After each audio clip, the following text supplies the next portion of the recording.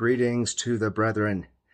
I greet you all in the name of our Lord Christ Jesus, where we are gathered here today on the internet to address His Word, and I'm very happy to give the first sermon from my new apartment. Recently, the Lord Jesus delivered me unto a new apartment, and it's really wonderful. You guys can see I even have my own air conditioner.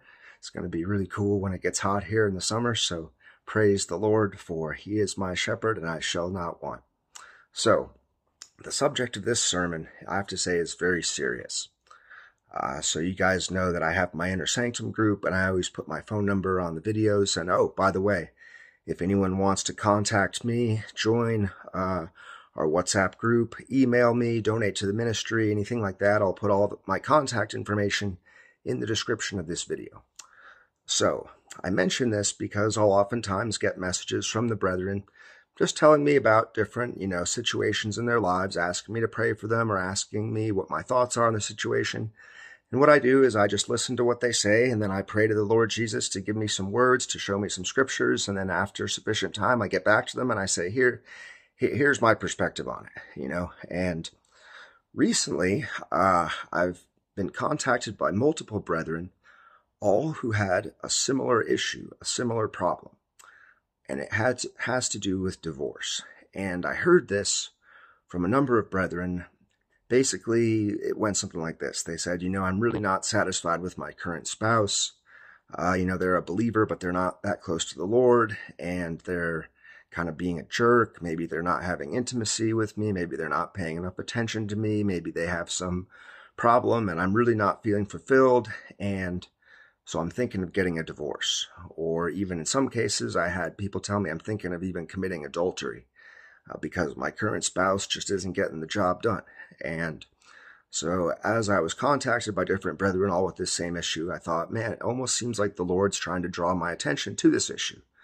So I began to search through the scriptures to try to get a clearer picture of what the Lord wants us to do in these type of situations and what I found was that the Lord came through loud and clear to me.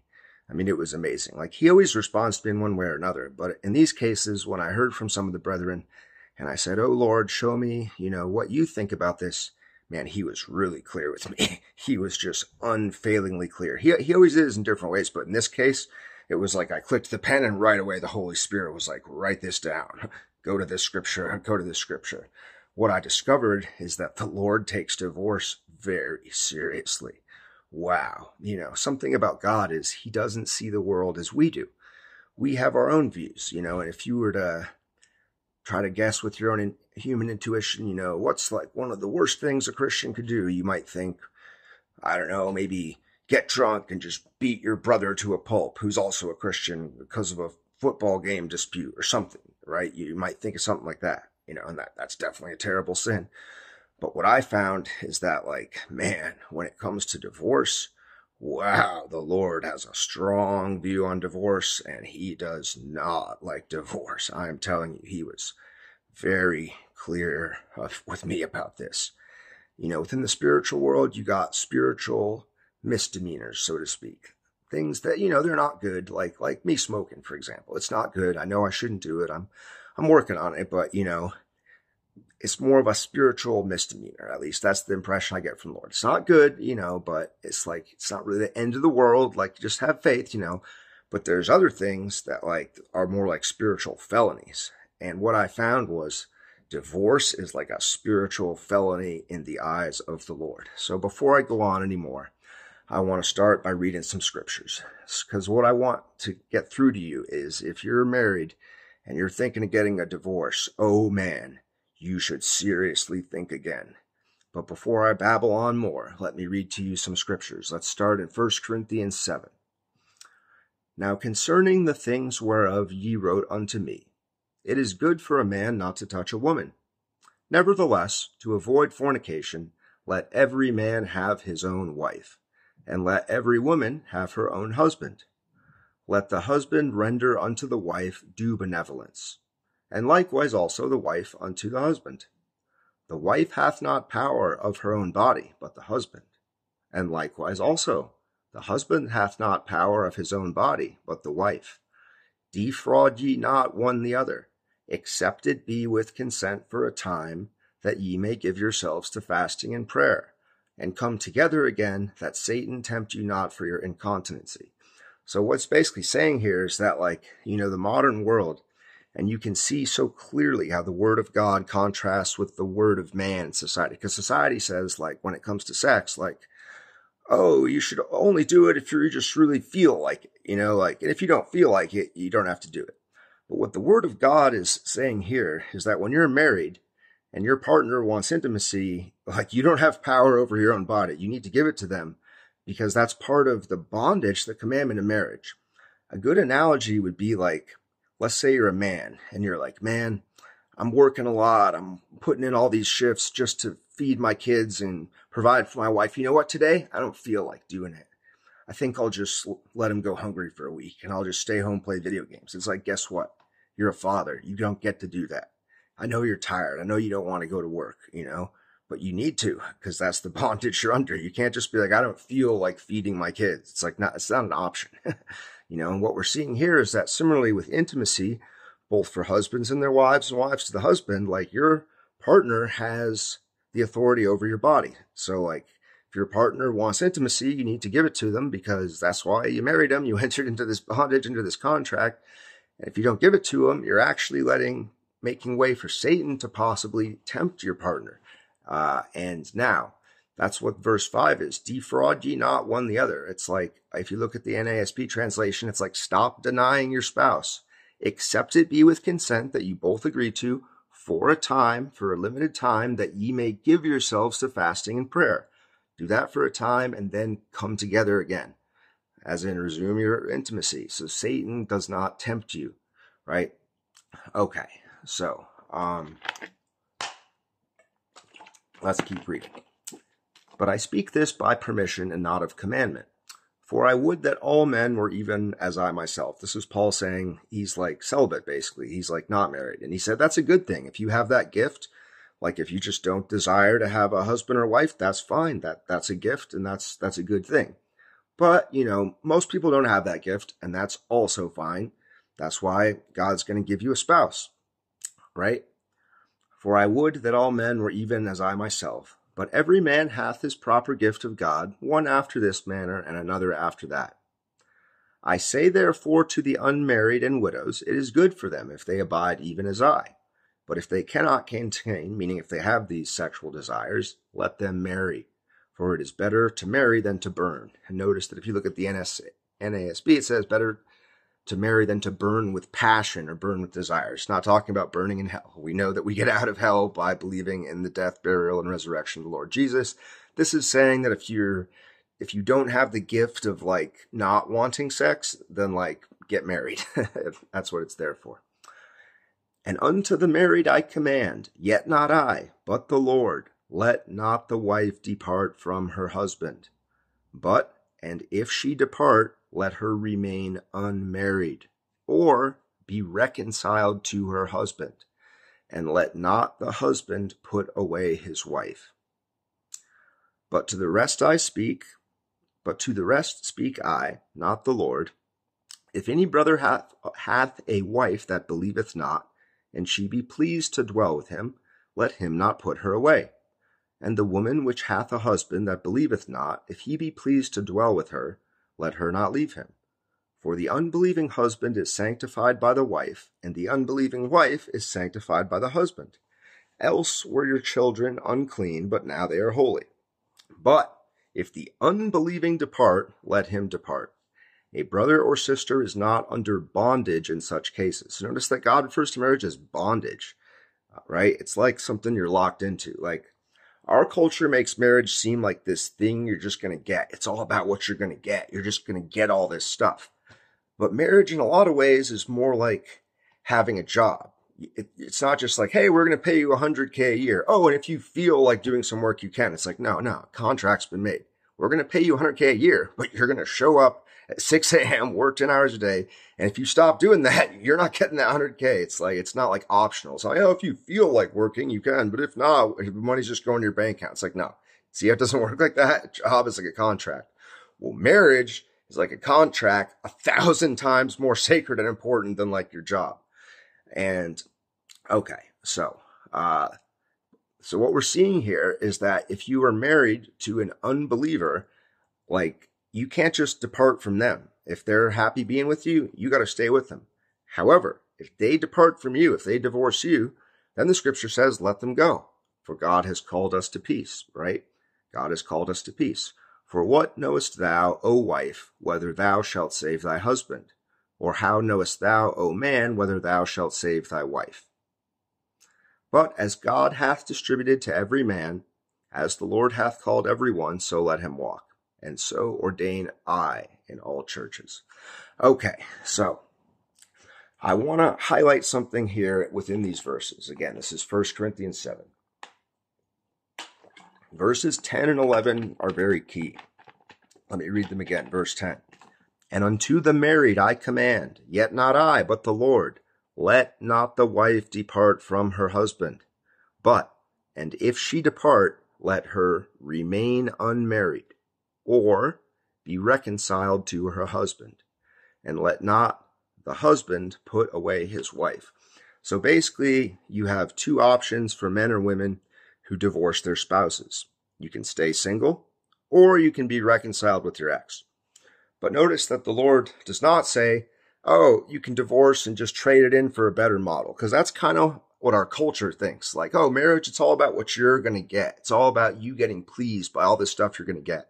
Oh, you're not getting it. Your your partner put on a few pounds. Oh, your partner's being a jerk. Oh, we'll just trade him in and you'll get a new model. And I feel like in particular, Satan lies to women about this with the whole culture and makes it seem like to women like, oh, you can always just chuck away your husband and just, and you'll get a better one. You got Tinder, you got all these thirsty men out there. Oh, you can always just get in a new model. And what I'm here to tell you is that those of you seeing this who are believers, we are under the ordinances of God and nothing can happen without God's will, no matter how available it seems. Like if God wanted me to starve to death, it doesn't matter that I have money in the bank. It doesn't matter if every restaurant in the city gave me free food. If he wanted me to starve, something would just block it and I would starve to death. Like God has that kind of power and he exercises that kind of power in the lives of believers. And so realize that like it's not your own will or your own beauty or anything that allows you to get a partner. It's God giving you one. And what we're going to see here through the scriptures is that God is exceedingly clear that to him marriage is so sacred. It's so, it's like two soldiers going out on a battlefield who swear an oath that if one of them gets shot up, the other one's going to carry him over their shoulder. In the middle of the battle, you can't just be like, ah, you know what? I think I'm just going to leave that guy. It's like, no, hey, you care not leave no man behind. And what we're going to see is that like the very fact that to describe the relationship between us and the believers in God, what what metaphor does God use? Marriage. Who are we the bride of? Christ. So marriage is a very serious thing in the eyes of the Lord. That's what he was showing me. He takes marriage very seriously. Marriage for him is, is at the very core of humanity. And one thing that the Lord hates is divorce. But let's read some further verses. So that's the first thing I wanted to point out that if you're a woman or a man, first of all, don't divorce your partner except in the case that they unrepentantly are committing adultery. Like that they just keep doing it in your face. They don't feel any sadness about it. It's not like they did it and then they feel ashamed and they say, please forgive me. Now, this is like unrepentant. This is they're just like, nope, I'm taking a new partner every day. Okay. In that case, you're allowed to divorce. But basically, the only other cases are one, if your if your husband if your husband or your wife are an unbeliever and they leave you you can't just leave them. If they leave you, you can let them go. In fact, you are commanded to let them go. Okay. Um, but what we're going to see is that if you do, God forbid, get divorced for some reason, God then gives you two options stay single for the rest of your life.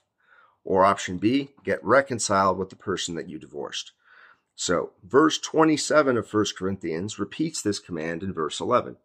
We read verse 27, we will read this Art thou bound unto a wife? seek not to be loosed. Art thou loosed from a wife? Seek not a wife. So, like, if you're married, don't try to get divorced. Are you divorced? Like, don't, or are you not bound? Are you not married? Like, don't seek out a wife. Art thou loosed from a wife? Meaning, were you married but you got divorced? Then don't seek out a new wife. Options are very clear. You can remain single or you can get reconciled with your ex. Okay. There's another exception in verse 39, which I call the death exception, which reads as following The wife is bound by the law as long as her husband liveth. But if her husband be dead, she is at liberty to be married to whom she will, only in the Lord. So if you're married and your partner dies, then you can go search out a new mate. But even then, the one that the Lord selects, not just anyone, the Lord's going to guide you to the right person. So you have a death exemption from verse 27 and verse 11, which say don't get divorced. And if you are divorced, you got two options stay single the rest of your life or get reconciled with your ex. Okay, so now I would like to, to emphasize how clear this is throughout the scripture. Because, you know, how many times does God have to tell us something in the scripture for us to know that it's his will? Once. What if he tells it to us like 12 times? And he's really making it clear that, that there's no ambiguity in this situation at all. So now I'm going to read from Matthew 19. Okay. So this is where the Pharisees come to Jesus. The Pharisees also came unto him, tempting him, and saying unto him, Is it lawful for a man to put away his wife for every cause? And if you look up translations of this other than KJV, you'll see that it really means any cause. So the Pharisees are saying to Jesus, "Oh, is a is a man allowed to divorce his wife for any reason?" Right? They're sort of tempting him, right? Because they're going back to the law of Moses, right? But Jesus answered, and he answered and said unto them, Have ye not read that he which made them at the beginning made them male and female, and said, For this cause shall a man leave father and mother, and shall cleave to his wife, and they twain shall be one flesh. Twain means two. They two shall be one flesh. Wherefore they are no more twain, they are no more two, but one flesh. What therefore God hath joined together, let not man put asunder. And asunder means apart. So the two that God has made one, let not man divide that. Now the Pharisees hit back. They say, They said unto him, why did Moses then command to give a writing of divorcement and to put her away? Put her away means divorce her. This is Jesus. He saith unto them, Moses, because of the hardness of your hearts, suffered you to put away your wives. But from the beginning it was not so. And I say unto you, Whosoever shall put away his wife, except it be for fornication, and shall marry another, committeth adultery and whoso marrieth her which is put away doth commit adultery. So also, if you married a divorced woman, you're also committing adultery. Now, because the Pharisees were kind of tempting Jesus to go against Moses, but Jesus doesn't even go back to, to Moses. He goes back before. He goes back to Adam and Eve. He goes back to Genesis and says, God never had divorce as part of his plan. That was never part of it. Later, we're going to look at, at Malachi and see a little bit more about what's going on here. But what we should be seeing is that God hates divorce. He does not like it. It is not part of his plan. The only time he allows it is in the very horrific case of when you have a spouse who, not that they make a mistake, they commit adultery. Ah, oh, they're sorry, but if they know it was wrong, that's one thing. That's what we call sin that's repented of. Some cases you have utterly unrepentant sin where your believing husband or wife just is just like fornicating in your face, doesn't even admit it's wrong, says, I'm going to keep doing it. In that case, God will allow divorce as a sort of form of mercy to the person who's being adulterated against repeatedly. But what we see is that God, even then, God hates divorce. He does not like divorce. It is never, ever part of his plan. Um, so let's read Luke 16, 18. Whosoever putteth away his wife and marrieth another committeth adultery and whosoever marrieth her that is put away from her husband committeth adultery. Matthew 5:32 But I say unto you that whosoever shall put away his wife saving for the cause of fornication causeth her to commit adultery and whosoever shall marry her that is divorced committeth adultery. Mark 10:12 and if a woman shall put away her husband and be married to another, she committeth adultery. Okay. So, now I want to get to Malachi 2:16, which is where God clearly expresses that he hates divorce. It is not part of his plan. He he loathes divorce because you know what divorce is? It's the destruction of a family. It's like the suicide of a whole family. If I were to just blow my brains out, God would hate that, of course. It'd be a terrible decision. That'd be like the destruction of my life and all the good that I could have possibly done. Well, when you get divorced, you're literally tearing a family apart because marriage is like the sacred covenant that binds a man and a woman together for life, that produces a stable platform for children, that allows the man to leave his parents and start his own family. And so divorce is literally the willful destruction of a family. And God takes family very seriously. It's the bedrock of all society. It's how he describes the church itself. Again, with the analogy, he could have used any analogy. He says you're like a family. What are we in Christ? We're the brethren, right? What have we been, uh, what's happened to us? We've been adopted into a family. So God takes family very seriously. And marriage is a covenant really before God to God, where you're swearing to God, I will be with this person through sickness and health, no matter what happens. If they get away from the Lord, if they if they commit a certain mistake, I will forgive them. If they're repentant, uh, we'll get more to that in a second. Malachi two sixteen, for the Lord, the God of Israel, saith, He hateth putting away. Putting away means divorce. For one covereth violence with his garment, saith the Lord of hosts. Therefore take heed to your spirit that ye deal not treacherously. So God considers divorce to be treachery against your spouse. Makes perfect sense because you entered into this covenant with God and with them to stay with them till death do you part. And if you just put them away and divorce them for any reason other than that they're just violating the covenant by unrepentantly fornicating, they got no remorse, they're doing it multiple times.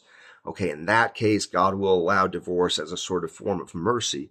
But what we see here is that he hates divorce. He hates to see that destruction of a family. And if we read back Malachi a little bit, we see the context for this. And I have to say, as I read this, it just echoed through my spirit that I had heard various brethren uh, in, in Christ talking to me about their situation. Some of them who were contemplating divorce and others who already had gotten divorced and couldn't figure out why they couldn't find a new partner. And so as I read this Malachi 2:16 where the Lord the God of Israel saith that he hateth putting away divorce. When God hates something, that's serious, man. So let's read just a little bit of the context of that. Let's go back to verse 10 in Malachi 2 where it says Judah profaned the covenant. Again, realize a covenant is like a sacred contract. We see God making it with with uh, Jewish people and so on. But check this out. So, verse 10. Have we not all one Father? Hath not one God created us? Why do we deal treacherously, every man against his brother, by profaning the covenant of our fathers? Judah hath dealt treacherously, and an abomination is committed in Israel. Here we're, we're seeing the Lord used very strong words, things he hates, abomination, treachery. Man, the Lord's getting fierce with his language here. Praise the Lord. For Judah hath profaned the holiness of the Lord which he loved, and hath married the daughter of a strange God. The Lord will cut off the man that doeth this, the master and the scholar, out of the tabernacles of Jacob, and him that offereth an offering unto the Lord of hosts. And this have ye done again, covering the altar of the Lord with tears, with weeping, and with crying out insomuch that he regardeth not the offering any more, or receiveth it with good will at your hand. Yet ye say, Wherefore? So what's happening here is these people have done something and they're coming to the altar of the Lord and they're weeping and they're saying, Lord, why aren't you answering our prayers? Lord, we're offering you all this good stuff. Lord, why have you gone silent on us? Why have you abandoned us? And here the Lord explains why. You're right? Because these people are saying why because the Lord hath been witness between thee and the wife of thy youth, against whom thou hast dealt treacherously. Yet is she thy companion and the wife of thy covenant. Yet means still. It's like she's still your companion. She's still the one you made the covenant with. But what did these people do? They put away the wives of their youth. They went after, they decided to upgrade. They wanted a new model. So they went after some attractive foreign women who worshiped other gods and the Lord's saying, I hate that. He's saying, You have dealt treacherously with your companion. The wife of your youth, she was still the one you're in the covenant with, right? She's still thy companion, the wife of thy covenant. And did not he make one? Yet had he the residue of the Spirit. And wherefore one? That he might seek a godly seed. Therefore take heed to your spirit, and let none deal treacherously against the wife of his youth. For the Lord, the God of Israel, saith that he hateth putting away. For one covereth violence with his garment, saith the Lord of hosts. Therefore, take heed to your spirit, that ye deal not treacherously.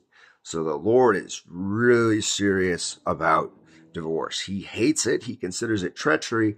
And when these people come to him weeping and offering all this stuff and he's just ignoring him, the Lord's like, you want to know why? Because you treacherized against the wife of your youth. And I hate that. so the Lord's very clear about that. Okay. So let's just read a few, a few more verses and then I'm going to talk about what we should do instead of getting divorced. Okay. Hebrews 13, 4. Marriage is honorable in all, and the bed undefiled. But whoremongers and adulterers God will judge. 1 John 1 9. If we confess our sins, he is faithful and just to forgive us our sins and to cleanse us from all unrighteousness. Okay, so I think I hit the main scriptures. There's more I could have picked out, but there you have like seven separate scriptures where the Lord makes it clear that he does not like divorce. That divorce for him is like a spiritual felony. Okay. So, um, I just, I come, I, I literally made it separate sermons to like give to different people who asked me questions, but since they all kind of overlapped and had to do with divorce, adultery, contemplating adultery, why can't they find a new partner? I sort of tried to merge it all into one sermon to give all the brethren because I felt like the Lord was just putting it on my heart. Evan, speak strongly on this. Evan, speak strongly on this. Let there be no ambiguity here. My word is not ambiguous. When people come to me crying and saying, Oh, how come I can't find a new partner? Like, because if you divorce your existing partner, saving for the case of them just unrepentantly fornicating, Notice he doesn't give any other exceptions. Well, if they die, right? But it's not like, oh, they don't satisfy me anymore.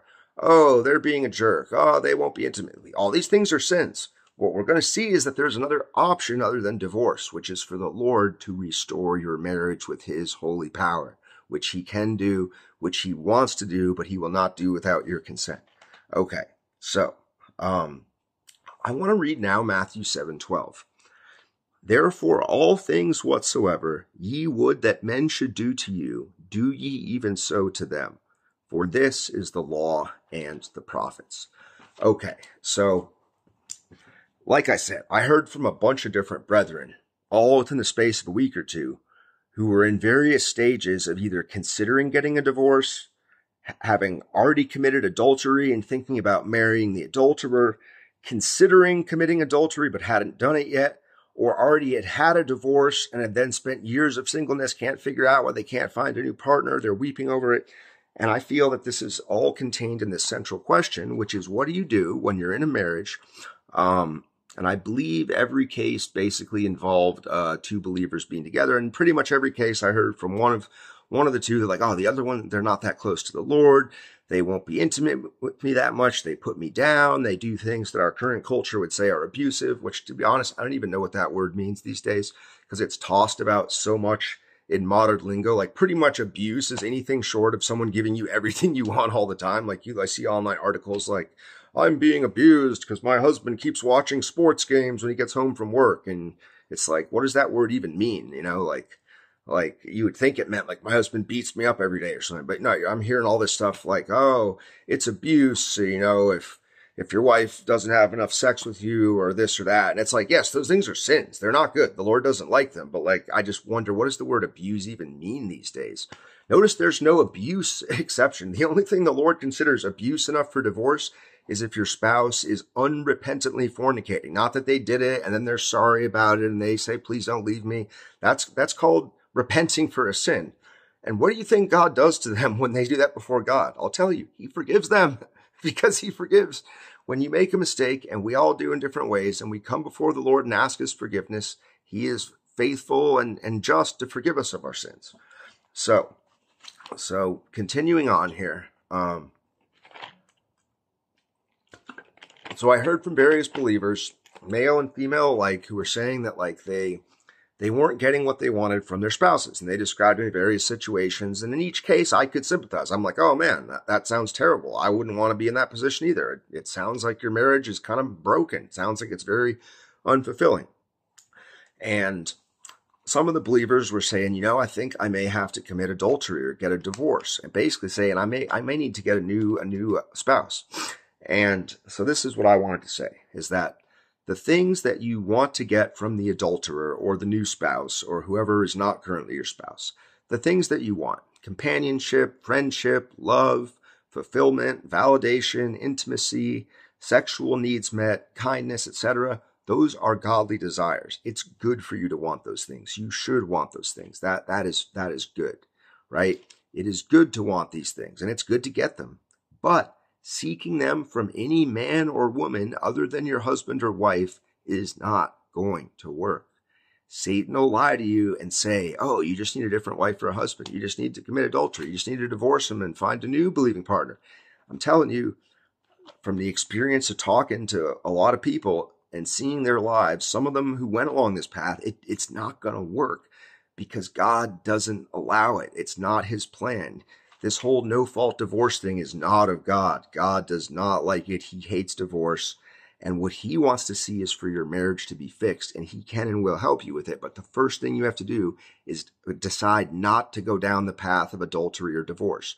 And notice that adultery isn't just if you sleep with someone while you're still married. If you divorce them and then go get married to someone else, God considers that adultery if that person, the new person you seek out to marry, even if they're a virgin, they're now committing adultery by having married you. So see how God says that? Like if you put away your wife or your husband, you're causing them to commit adultery when they're with anyone else. If you marry some new person, you're causing them to commit adultery because they've married someone who who has put away their their husband or wife. So God sees it all as adultery. Like when you're married, you can have sex with one person, your husband or your wife. The only time that gets released is if they die. Okay, now you can seek out someone new, someone that the Lord approves of, you know, a fellow believer. Um, also, I saw that really clear. The Lord does not want us to marry unbelievers. There might be some rare special exemptions, but clearly the Lord wants us to be married to believers. And of course, the other exception is if you are married to an unbeliever for some reason, like maybe before you got saved, you're married to an unbeliever and they leave you, then you are to let them go, right? Um, so, but what I was saying is all these things that you want that you're not currently getting from your spouse, that's, that's good to want those things and it's good to get those things. But the first thing you gotta get out of your head is you're not going to get them by switching to someone else. I'm telling you, it's not going to happen. Like I spoke to multiple believers who got divorced from their partners because they weren't getting fulfilled. And what ended up happening was they ended up either getting a new partner that then the relationship was even worse and they got cheated on and it was even more terrible, or they just stayed single and for the life of them couldn't be anyone. And it's like, yeah, that's the divine earthly judgment that we're all under as believers. Now you're going to get into heaven no matter what if you believe in Jesus. Doesn't matter. You can be the world's worst adulterer. You will get into heaven. But until you die, you're still subject to God's judgment on earth. And that starts in the house of believers. So as believers, we are strictly held under this judgment. Now, if you got divorced before you were reborn, that's a whole different story. That's forgiven. You're washed. You're regenerated. Like I led souls into hell with Hinduism. I fornicated. I did all kinds of sins. I was reborn and God made it clear to me those sins are forgiven. He's not holding those against me because I didn't know. I was in unbelief. Once you're a believer, you're a new man in Christ. But if as a believer, you now get divorced, or if I was to do the same stuff I did before now, oh man, the hammer of God would come down upon me. God forbid. You're not going to be see me telling anyone to go to any Hindu gods now, but I was literally doing that a week before I was reborn. So if you got divorced before you were uh, reborn, don't worry about it. That's on, that's nailed to the cross. That's your old man. You got a fresh start. This is all about after you've been saved. Okay. So it's if your plan is to switch to a different partner to get your needs met, it's not going to work. Okay, it's not going to work. Quite the contrary, it's only going to bring further divine judgment and punishment upon you. So, if you want to get these things, i.e., all the fulfillment you want emotionally, sexually, friendship from your spouse that you're not currently getting, okay, this is what you need to do. The fo- what you need to do is the following. So, in the case that you have committed adultery, okay, this is what you need to do. You need to repent which is to fully see and accept with your whole heart and mind that it was a mistake to seek these things from someone other than your husband or your wife, right? just repent. Just say, you know, because I heard a lot from believers saying, yeah, I committed adultery, but like I had to because my husband or wife was a jerk or whatever. So it's kind of justified. You got to accept with your whole heart it's not justified. You made a mistake. That's okay. We have a God who forgives sins, but step one, you got to repent. You got to go on your knees before Jesus and say, Jesus, I made a mistake. I committed adultery. I went with someone who wasn't my husband or my spouse, or maybe you didn't fully commit adultery. Maybe you were planning to. I don't know, some degree of it, right? Whatever it was, you got to repent, which is just to see in the clear light of day that it was wrong, that you shouldn't have done it.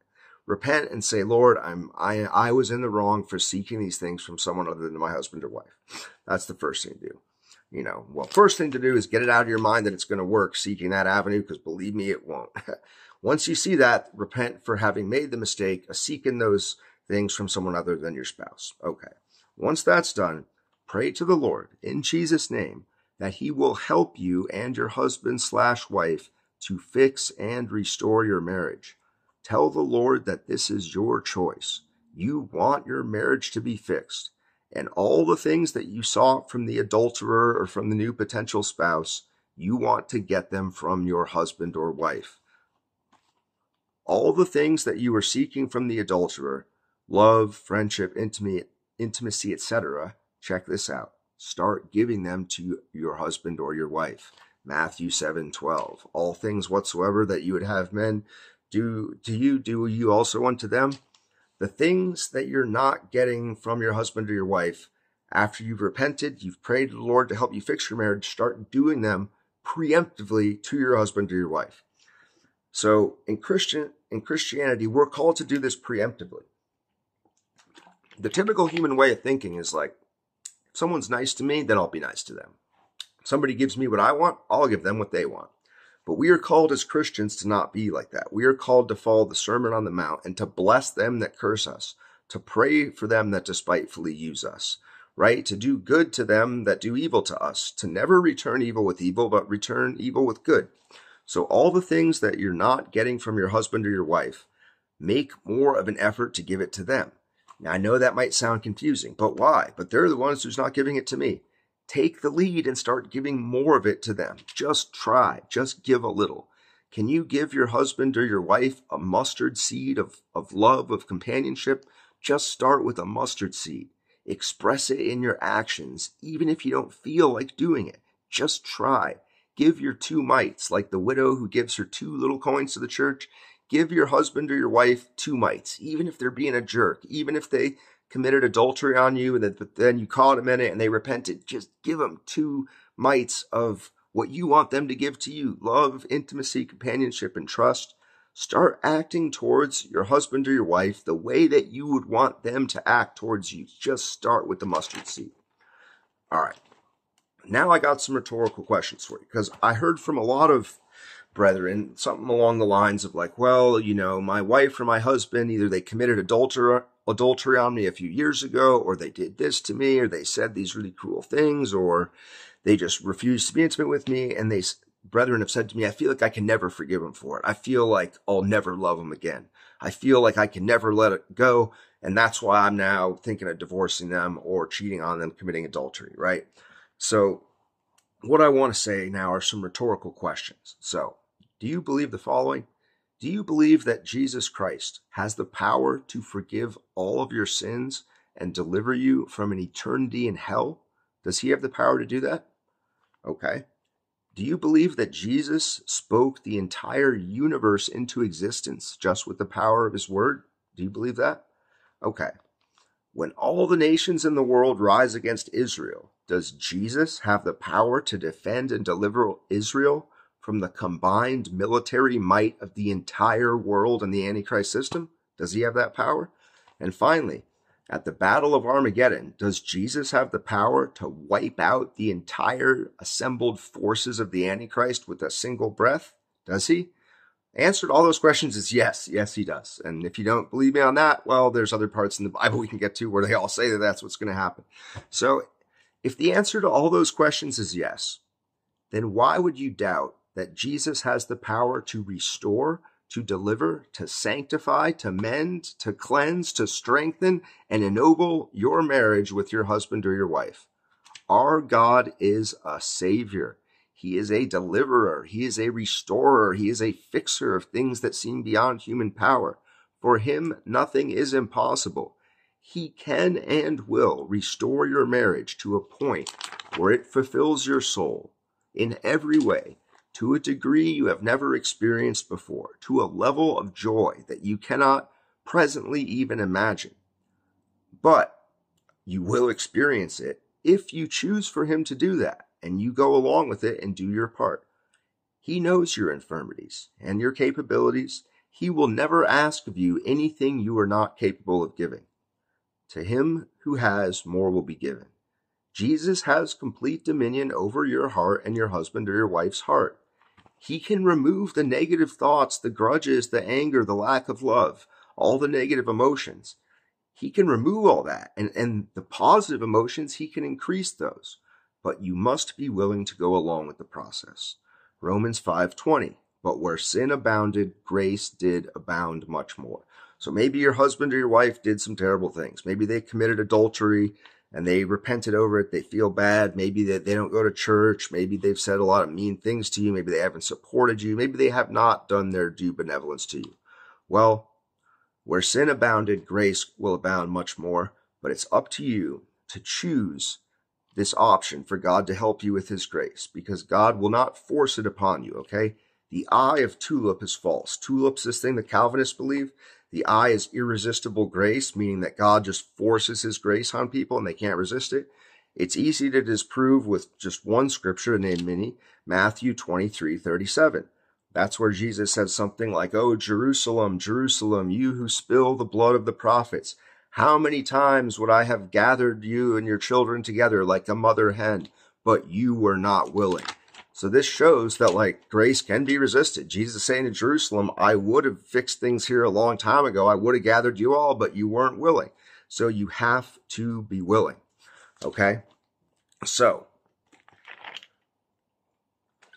the brethren I spoke to, from what I could tell, it sounds like they all had legitimate grievances against their partner. Their partner wasn't fulfilling stuff.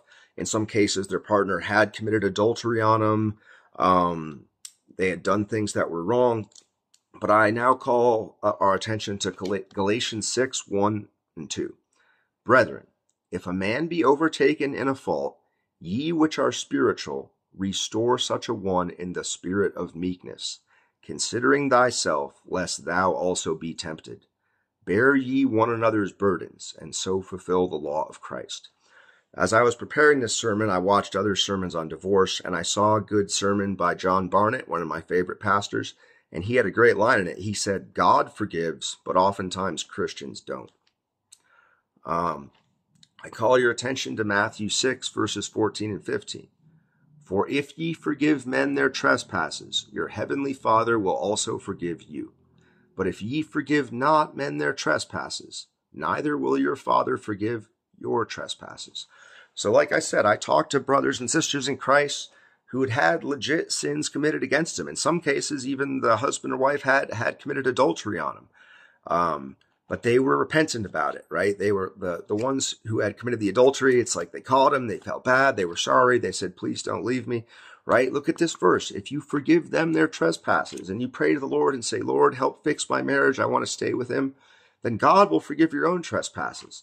But if you don't, right? Because what are we supposed to do? If a man be overtaken in a fault, like if your husband or wife committed a fault, guess what? They're human. They did something wrong. They committed adultery. Now realize there's a big difference between it's like they did it, they're repentant, they know it was wrong, versus they did it and they're like proud of it and they're doing it in your face and you try to get them to see that it's wrong and they just keep doing it and it goes on for six months and there's just, you know, okay, that's different. That's like utter unrepentant fornication. And that is the one clause when you can leave them, but not if they like did it once and they're sorry about it and they say, uh, you know, please don't leave me. I want to make it work. There's a big difference in God's eyes between like sin that's repented of versus sin that there's no repentance whatsoever. And in each case that I talked to, it, uh, it was a scenario where the spouse who was thinking of leaving their husband or wife the husband or wife had, in some cases I talked to, had committed adultery against him, but in each case there was some repentance. The husband or wife was like, I shouldn't have done it. I'm sorry.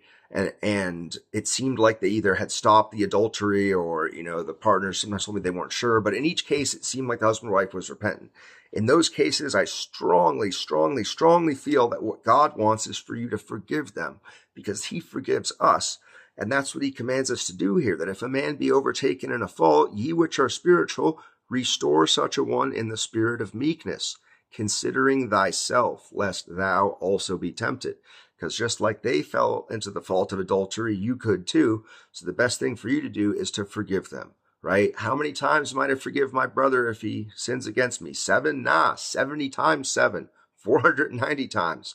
If people commit a sin, even a sin of fornication or adultery, but they're repentant, they know that it's wrong, they see that it's wrong, they're sorry about it, then we are to forgive them. Bear ye one another's burdens and so fulfill the law of Christ. Um, because I, I heard this a lot in cases where actual adultery had occurred, but also just in cases where there were other sins that people's partners had done to them. And I heard this line a lot from both men and women, people saying something to me like, I can just never forgive my partner because of what they did in the past or their attitude or the fact that, that they don't go to church or, or that they seem more interested in their hobbies than they are in me. They just, people were telling me like, I just feel like I can never let it go. And what I'm saying is you may feel like that, but pray to God to change your heart. Pray to God. Use that mustard seed. Just try to forgive him a little. Pray to God. He can work on your heart and your husband or your wife's heart. Um, he can do what I call a reverse Romans 1. What we see in Romans 1 is, you know, why is it that some people are zoophiliacs, meaning they have sex with animals? Other people are homosexuals. Well, they're not homosexuals, but they have homosexual desires. Romans 1 clearly explains that these are individuals who they defied God. They rejected God. They rejected his standard of truth and goodness. And so God gave their hearts over to evil, ungodly desires. And that's why we see people who are pedophiles, who are having sex with animals, who are having homosexuality or multi orgy groups, or all the things that the Bible defines as sexual immorality.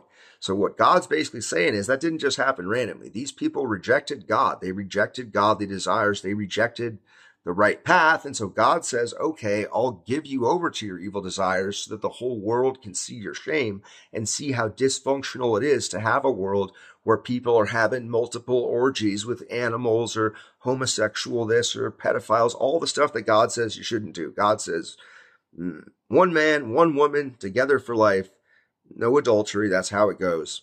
But Romans 1 is where you defy God. So God lets, God says, ah, you, you don't want to follow my, my uh, ordinances? Okay, I'll let your heart be given over to all these twisted desires that'll never fulfill you so that you can disgrace one another by almost I'll make you a teaching example of the whole world to see just why it is I command these ordinances so the whole world can see your shame as you become a little Sodom and Gomorrah. But what I want to say to you here today is God can do the reverse of that. He can reverse Romans 1 you, meaning that if you come to God and you say, God, I want to follow your ordinances. I accept you. I accept what you have said is right and wrong. I want to want what you want me to want. He can reverse Romans 1 you, meaning he can take out of your heart. Let's say that you're someone that you committed adultery on your spouse. You know, you can go before God and be like, I'm sorry. I should have, I should have desired my husband or wife. I'm sorry I did that. And he can take out of your heart the desire you have for the adulterer or for other men and women and point it back towards your spouse. And he can do the same with your spouse's heart and point them back towards you. He has dominion over your heart and your thoughts and your mind. Just like he can keep you breathing or he can give you a heart attack and drop you, he can put desires on your heart. He can take them off. And if you pray to him and you do the opposite of what they did in Romans 1, but you say, God, help me get rid of my ungodly desires. Help me only desire my husband or wife. Renew my love for them. Renew my attraction towards them. He can do it, but he's not going to force it on you. Romans 1 shows that he gives us all a choice. He's not going to force his grace down your throat. But if you ask him for it, he will give it to you. So in a situation where your husband or your wife did something wrong, whether they cheated on you or they said abusive words or they, they just did something that was really wrong. Maybe the husband stopped paying the bills. Maybe the wife just refused to have intimacy with the husband. Things that are all definitely serious sins. I believe that in this situation, you forgiving your husband or your wife for their sin of adultery or whatever it was is crucial. And I think God's watching your heart to see if you will do this, right?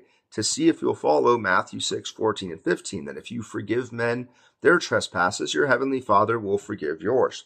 Because when we get focused on the sins of another, no matter how genuine those sins are, we tend to forget our own sins. We tend to justify our own sins. And Satan has a little script he says in our ears like, oh, well, someone sinned against you. Well, therefore, you're just going to have to sin back. Oh, they cheated on you. Well, well, you got a cheat pass. And God does not see it that way. That's not what he commands us to do. He commands us to forgive them. And that if they're overtaken in a fault, that we try to restore them in a spirit of meekness. And we consider ourselves because we could easily fall into the same fault that they fell into. And that's how we fulfill the law of Christ. So if your husband or wife did something to you, whether it was adultery or something else, just try to forgive them. Ask God for help. Say, God, help me forgive them and love them again. He will help. He will answer that prayer. Okay, so uh, furthermore, I just want to express express something here, just to finally tell you the seriousness of the situation. I want to mention a particular case that I had where I talked to one of the brethren in Christ, and they basically were saying that they were considering getting a divorce because their spouse just wasn't fulfilling them. And they gave me a list of stuff that the spouse did. It sounded all terrible. I was like, yeah, I understand why you're not fulfilled. It sounds like a terrible situation. And they were telling me, like, you know, I think I might just get a divorce. I think maybe this was just the wrong person for me. I'm thinking I could just get a divorce and I'm just going to get a new spouse. And, uh, and so I went before the Lord and prayed about it oh man, the Lord responded right away. The Lord was very clear with me. I mean, he, he always talks to me, but like sometimes it's more like I got to search it out more. But in this case, I basically said, Lord, what should I tell this person? Because this person came to me and said, Yo, Evan, I'm thinking of getting a divorce. My spouse is just doing all this bad stuff and I'm just unhappy and I've been trying for years and it's not getting better. I think I might just divorce him and go look for a new spouse. And so I said, all right, let me, let me pray about this. So I prayed. I said, Lord, what, what should I, what should I tell this brethren? What should I tell them? Dude, the Lord came through clear as day. And right away, he pointed out these scriptures, right, that we have here. And the Lord told me, and he basically said, tell them this. He said, tell them that they have a choice, that if they stay with their partner and they don't get divorced, that I can fix their marriage, that I can restore it. I can restore their heart. I can restore their spouse's heart, and I can bring their marriage to a new level of peace and joy that they've never even experienced. That if they choose to stay and work through it and start treating their spouse the way they want their spouse to treat them, that I, the Lord, can use my power and will restore their marriage and will that that all the needs that they're considering getting fulfilled by some other potential spouse, I can I can make their current spouse fulfill those needs and work on their heart and their spouse's heart. I can and I will do that. But the Lord also said very clearly that if they get a divorce, if they choose to take that path, the Lord told me, I will punish them for the rest of their life. And he had me write it down in very specific words. And then he even told me, Tell them, Thus saith the Lord. Now, this is very notable for me because you guys know I'm basically talking to the Lord's ear off all day. If talking to the Lord too much is a sin, then I, I should be like getting my hair set on fire right now because I talk to the Lord all day. Lord, is it this? Lord, what about this? Like I'm Mr. Chatterbox with the Lord. And the Lord's always guiding me and he's, he's showing me scriptures. Insights suddenly emerge. I'm like, oh, I think that was you, Lord. And right. But most of the time, the way it works with the Lord is that like I'll be praying about something, I'll be thinking about something, He'll guide me to stuff. I'll be like, is the sermon ready, Lord? He's like, nah, keep working, Evan. Like sometimes he tells me like, I'll delete that part. Like I work on it. I get to a point where, where I'm like, okay, Lord, are we ready to give the sermon? He's like, okay, go. I'm not saying the sermon's perfect. I'm just saying I get to a point where I'm like, okay, Lord, this is the best I can do to understand it. Is it good enough? And then usually reach a point where he's like, okay, Evan, go. You have it. You know, I'm not saying it's perfect, but he's like, okay, good enough, Evan, go give your sermon. But then if I ask Lord, I'm like, Lord, should I say that you told me this? Because certain insights, certain things, the Lord will tell me, and I'll be like, wow. And then I'm like, Lord, should I say you told me that? Now, most time he says no. He says, just tell people. He says, just present it to him.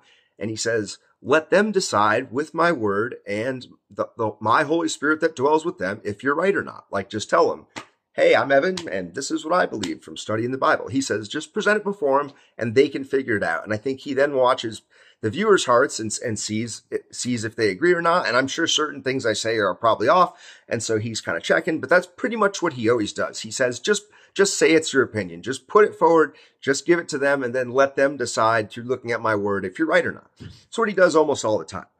But once in a while, he will actually tell me no. He'll say, and this is this has always been in a case where I'm talking to someone personally one on one where he'll say, tell them this and tell them, thus saith the Lord. Now, I know a lot of people like don't believe that. They don't think that God does that anymore. That's fine. You don't have to believe that. But like in certain individual cases where I was talking to people, the Lord very strongly told me, like, tell them this. And he then added and said, and tell them that it's not just your opinion, that it's not just your idea. Tell them I, the Lord, am telling them this.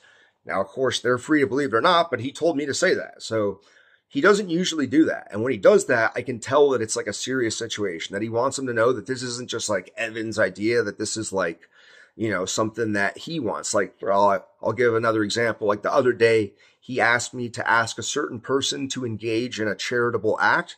And he told me to tell that person, like, the Lord is commanding this. it's almost like he didn't want me to get credit for it. Cause it's like, I wouldn't have thought of that on my own. And I, I could see, and he kind of showed me that, like, this is coming from Jesus' generosity, not from mine. So when I was speaking to the person, I told them, like, you should engage in this act of generosity. And it's not like me saying this out of my own generosity. It's the Lord is, is saying this, you know. But anyway, the reason I mentioned that was that in this case, where I was speaking to this particular brethren who's like, Yeah, I'm thinking of getting divorced. The Lord was super clear with me. And he basically said, Tell them these things. And he had me write it down. I'm not going to read the actual words, you know, that's for them, but I'm going to tell you the essence of it. He basically said, I, the Lord, will restore your marriage. If you choose right now to stay in the marriage, I'm going to fix it. I'm going to bring it to a better level than ever, but you have to choose. But if you get divorced, you will be punished for this for the rest of your life. It's a serious thing. And so he had he had me write all that down. I was like, okay, Lord, I'm supposed to add thus saith the Lord to that statement. To this one, he's like, no, not that one, Evan. That one's your own opinion. So I'm like, okay. So I was like working with him. Like I just about had it finished. I'm like, okay, Lord. So I'm going to tell him this. I'm going to tell him this. I'm going to say that you say that you will restore their marriage, that you say that, you know, they're going to get punished if they do get a divorce for the rest of their life. And so I had the whole thing ready and I'm like, okay, Lord, I'm about to like call them and like deliver the message. Like, are we all set? And, and he's like, the Lord is like, nope, you're missing a single word. And I was like, where, where? So I work with him. We go through our communication. Like, where am I missing a single word? You know what word he had me add to it? Under the sentence I had written that if you do choose to get divorced here, the Lord will punish you for the rest of your life. You know what word he had me add to that? Severely. he wanted it to read, the Lord will punish you severely for the rest of your life if you choose to divorce your partner right now. So I added that word and I, I brought it to the brethren and, you know, let's pray that they make the right choice. And it, it caused me to recall the scripture where the Lord says, I call heaven and earth to record this day that I have set before you two choices, good and evil, life or death. And I felt very strongly that was what the Lord was saying. And I didn't get a feeling from the Lord during this interaction of anger. It's like it, he wasn't like angry at this person they were considering divorce. He just wanted it really clear that they had an option and that if they did the right thing and they stayed with their partner that that he was going to restore it that he wanted to that he was like eager to bless them. Like it wasn't a feeling of like rebuke towards them. It was like he wanted me to make it really clear like they've got two options but they're very divergent options. If they choose to stay with their partner the lord is going to restore it and bless their marriage and it's going to be incredible but if they choose to get divorced and in doing so basically break all of these scriptures that say that, the Lord is going to severely punish them for the rest of their life. And I have to say, I have spoken to multiple brethren who are in that position, who got divorced like X amount of years ago and they're suffering. And like, that's why I say to you that if you think you're going to get divorced and just get a better husband or wife, like based on my experience talking to brethren, it's not going to happen you're basically the examples that I saw was that the people that got divorced would then get a new spouse who would then like abuse them even worse than their first spouse, would cheat on them, would do all this terrible stuff, and it, they would end up in a worse situation, or they just ended up single and just just swore off men and women altogether, but still wanted one, but just felt sad and single. And I'm telling you, I didn't hear a single story about someone who was like, "Yeah, I had a believer brother, uh, excuse me, a believer spouse." Then I just left them and then life got better. It's like in every case, it got worse. And in the cases I spoke to, it's like it almost seemed to be kind of like a permanent condition. But I guess I would like to give a word of hope here, which is that if you did, if you are a believer listening to this and you did divorce your spouse and you realize that it's wrong, you know, saving unless it was the case, like I said, that your spouse was just fornicating right and left, had no repentance, dude. Because I'm just telling you what I would do. If I was married and my wife started fornicating left or right, I wouldn't even divorce her right away. I'd give it like six months. I'd pray to the Lord every day. I'd try to talk to her. I'd give it six months of her doing it in my face before finally I would ask the Lord, Lord, have we reached the point where I should just leave? And if he commanded me to, then I would leave. But like what I can see is he hates divorce. He wants to restore the marriage. He can. And even if one partner isn't willing, if, if, if the one partner is and they're like forgiving and loving, that has immense power to change hearts. I've seen in my own life how the Lord has changed the hearts of my parents. You know, when I first got reborn and got into Jesus, let's just put it this way, my parents were not exactly over the moon about it. They're hardcore atheists and they were not happy to see their son become a super Christian, right? Like they were not psyched about it. But I can see how over time, it's like winning them over. They're starting to see. You know, my father even told me the other day, he said, Evan, you know, I don't share any of your beliefs about Jesus, but he said, Evan, I can see how they've given you a newfound direction and energy that I've never seen in you before. You know, my father's never told me that before. And so I can see how even with my parents in their pure unbelief, how my actions and my faith in Jesus, which is really just the Holy Spirit working on me, is starting to change and warm their hearts, which is amazing. And if the Lord can do that, even with unbelievers, imagine how he can do it with your husband or wife, even if your husband and wife has drifted from the Lord and they don't go to church, they don't read the Bible, you know, the Lord can start working on them through you if you're willing to forgive them and to start doing unto them the things that you're lacking from them. It's preemptive. It's like, it's not we think of love and goodness as like, well, if I feel like loving them, then I will. But, but, guys, love's an action. It's something you do. You can do it even when you don't feel like it. And when you do that, I see that the Lord really appreciates that. It's like, you know what? I feel like cussing this person out, but you know what? I'm just going to say, God bless you. Like love is an action. It's something we do. And as we do unto others, like I feel a big part of how the Lord treats us is how he sees we treat other people he will treat us in many ways the way that we treat others. If we are forgiving towards others, he'll be very forgiving to us. If we're very gentle to others for their mistakes, he'll be gentle to us for ours. But if we're harsh and unforgiving and bitter, we can't be shocked if our spouse is then that back towards us. But if we're willing to fulfill the law of Christ and restore them, and if our partner cheated on us or did something wrong, but they're sorry they're repentant, well, we just think, you know, our God forgives them, so we should be like our God and forgive them to the best of our ability.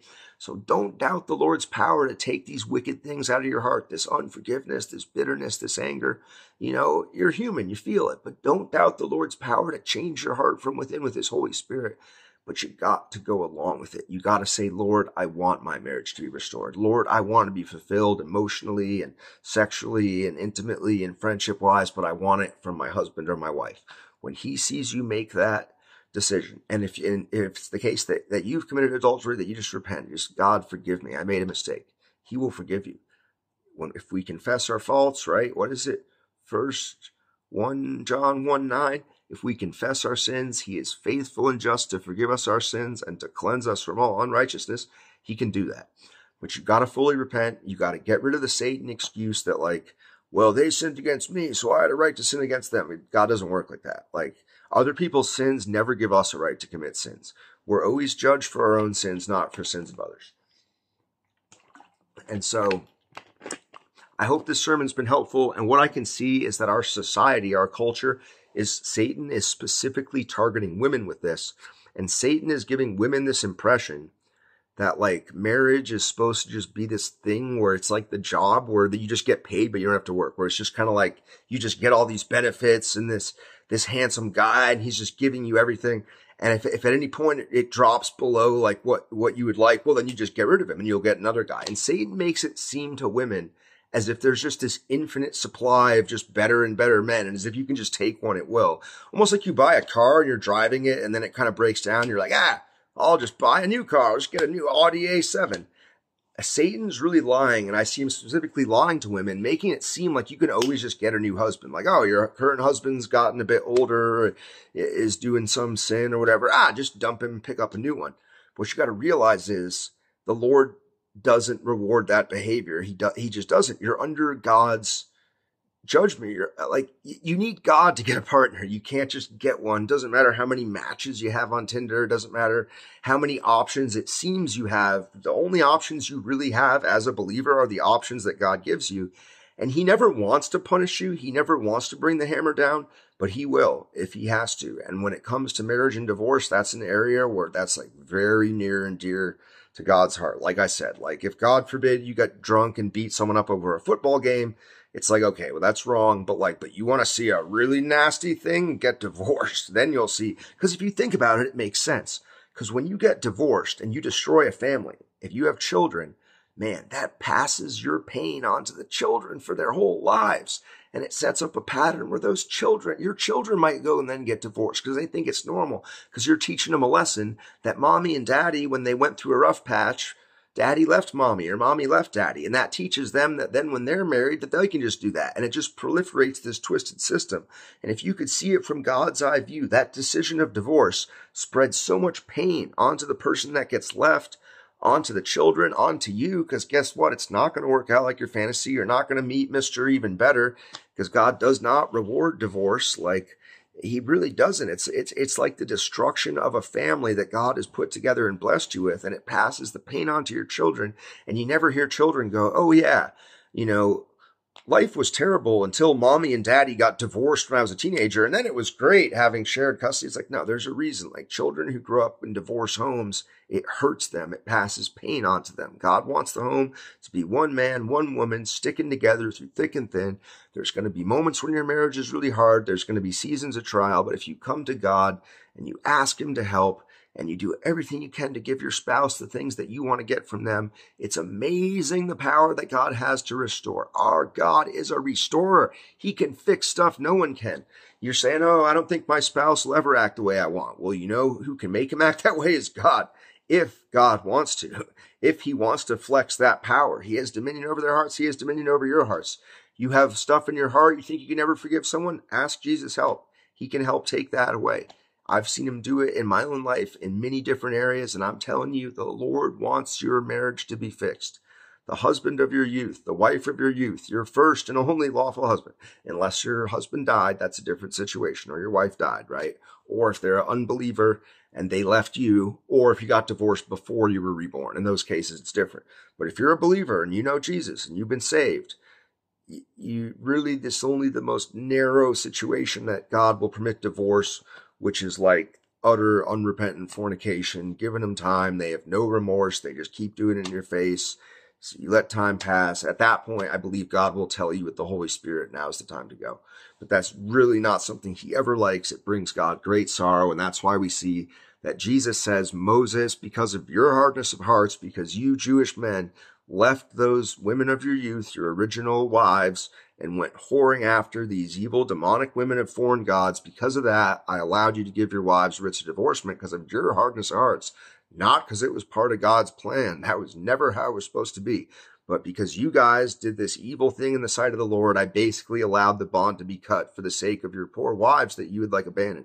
And I realize it applies both ways. If, if this had been a bunch of women abandoning the husbands of their use, the same thing applies. Like, why are you covering my altar with tears? Why are you saying, oh, you want to accept your offerings? God's like, because you dealt treacherously and you did an abomination in my sight, which is divorce. And as God showed me, like people that get divorced, if you just choose that divorce, man, like God doesn't like that. Now, if your partner like divorces you and you have no choice about it and you fight and you try to keep the marriage together and your partner just shoves the divorce down your throat and you can't accept it, don't worry.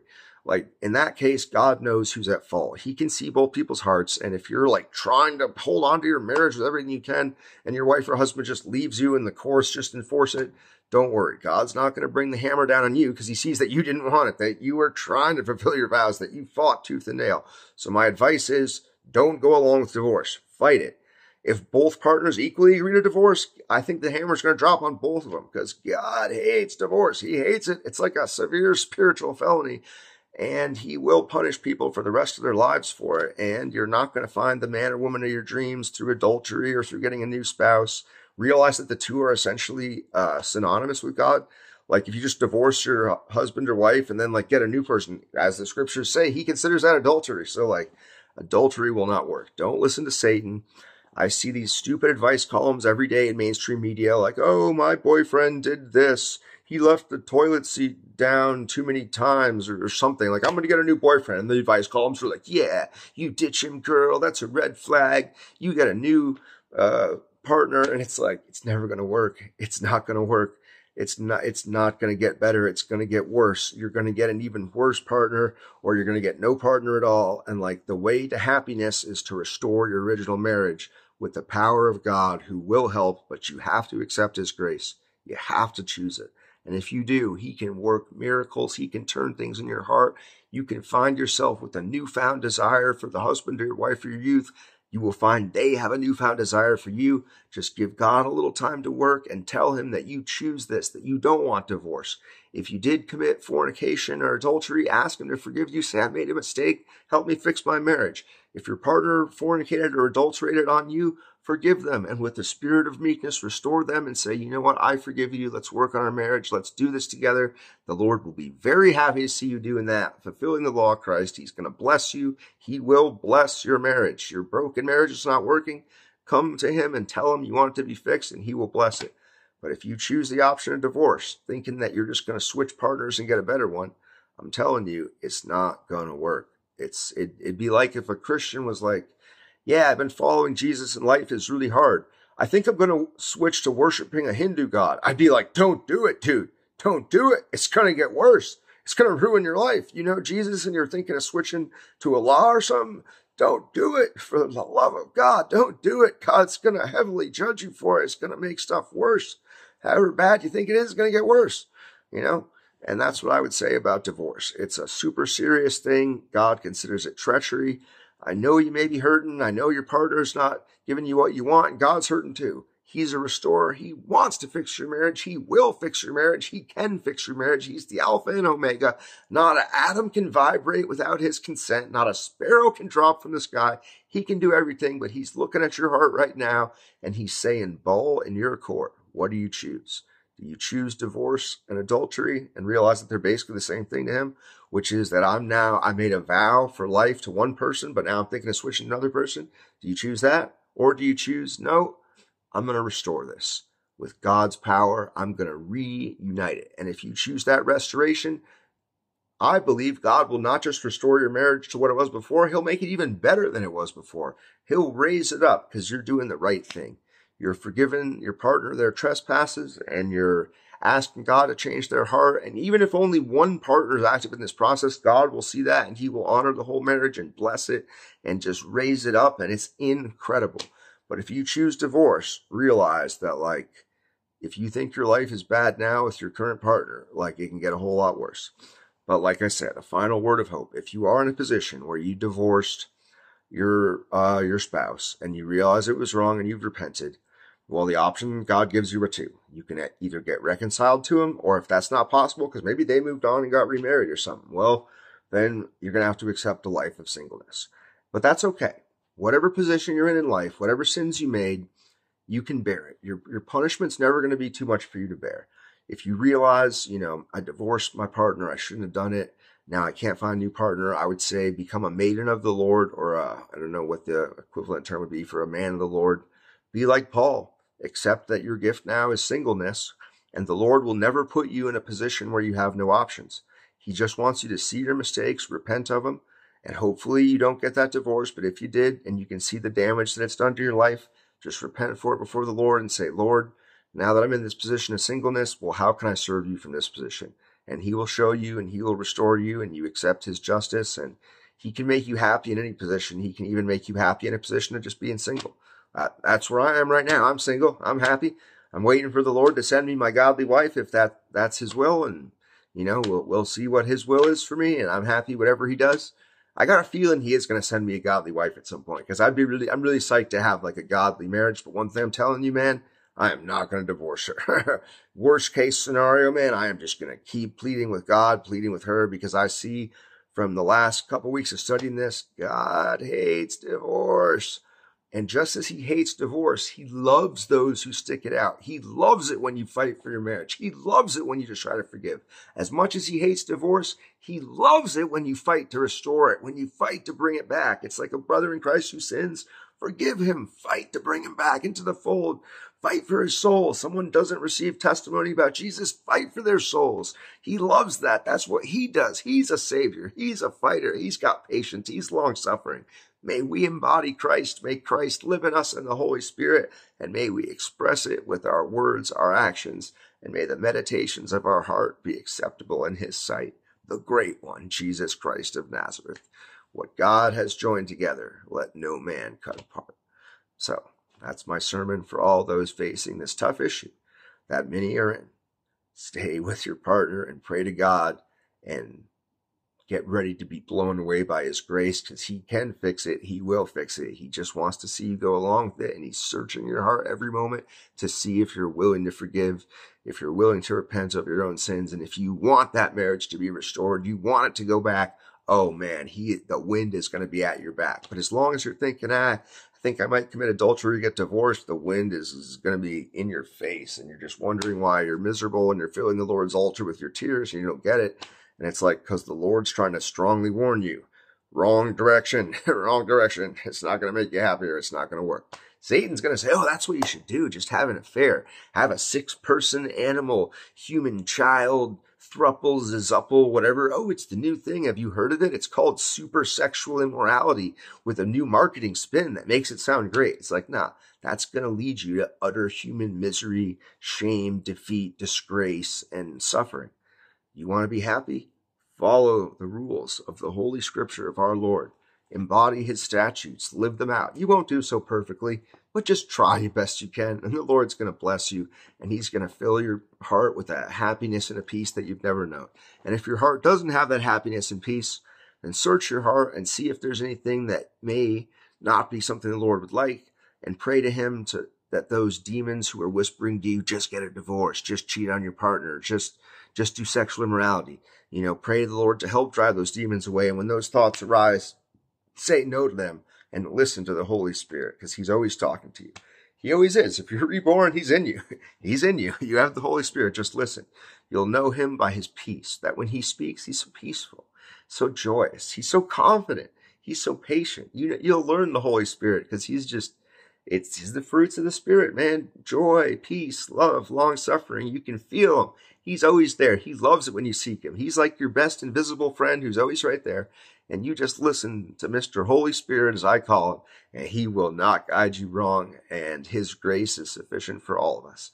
Okay, guys. Well, that's it for the sermon for now. I, I hope I've shed some light on this most crucial of decisions, but seriously, don't get a divorce. It's going to make your life way worse. It's going to make your children's lives worse. It's going to make your partner's life worse hang in there and have some faith that the same God who can wipe out all the forces of the Antichrist with a single breath, yes, he can also restore your marriage. Yes, he wants to, and yes, he will, because he is all powerful, all knowing, all wise, Alpha and Omega.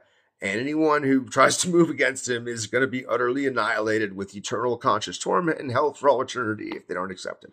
That's how powerful our God is. So, cheers to our God, the Savior. And with that, I say, may the Lord Jesus Christ be with each and every one of you.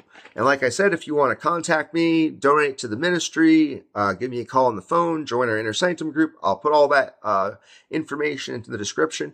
And thank you all for all your prayers, for your donations, for your questions, for your emails, for everything everyone's done to support the ministry. I appreciate it so much. This ministry is my pride and joy. It's, it's my calling on the earth. It's the thing God's given me to do, and I love it so much. And I say thank you, God, and bless you, God the Father. Bless you, God the Son, Christ Jesus, and bless you, Holy Spirit, and bless all of you for watching my sermon. And I'll be back soon with many more sermons. The next one is going to be about how part of the difficulty of the Christian life is actually accepting grace. We think it's all about like resisting sin, but a big part of it is that God can actually make your life much better than you can almost even handle if you're willing for Him to. A lot of times we accept the grace because it just boggles our mind. It's like, like he's offering us this incredible option, but it's like almost hard for us to even accept that life could be that good, but it can be, and it will be if you accept his grace. Because grace is a strange thing, man. It's like a quality of God. It's just getting what we don't deserve. It's just, we don't deserve it, but we're given it anyway. It's really a bizarre quality that, as far as I can tell, only God truly has it. Like humans aren't like that. We're nice to people that are nice to us. We give people stuff that we think they deserve. I'll do this work. You'll give me that money. But God's not like that. He just gives more and more grace, like assuming that we do our little part and like try to follow his word and stuff. But even then, he gives us way more than we deserve. If we're willing to accept it, it's incredible, man. But anyway, that, that's the subject of a future sermon, how one of the hardest things about the Christian life is not necessarily even like resisting sin. It's actually accepting the grace because it just seems too good. It's just like, but why? But I don't deserve this. And God's like, you don't, but I'll give it to you. and it's like amazing. Grace, grace is strange, man. It's an alien quality because only God has it. Only He is truly graceful. It's His nature. And that's why it blows our minds as humans because even the best among us, we should try to be graceful. We should try to mimic it, but it's not really our nature, but it's God's nature and it's amazing. Okay, guys, with that said, we'll, we'll save that for the next sermon. Thank you guys for watching this one. Thanks so much for your support of the ministry. And may the peace, joy, and comfort of our Lord Christ Jesus be with each and every one of you through the power of the Holy Spirit that dwells within you all to the honor and glory of Jesus Christ and God the Father forever and ever. Amen.